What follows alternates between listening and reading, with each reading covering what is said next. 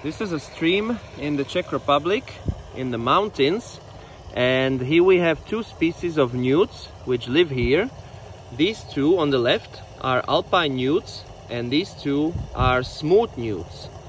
As you can see uh, the male alpine newt has a small crest and it is smaller than the female and then when you look at smooth newt uh, the female has no crest and the male has a beautiful big crest.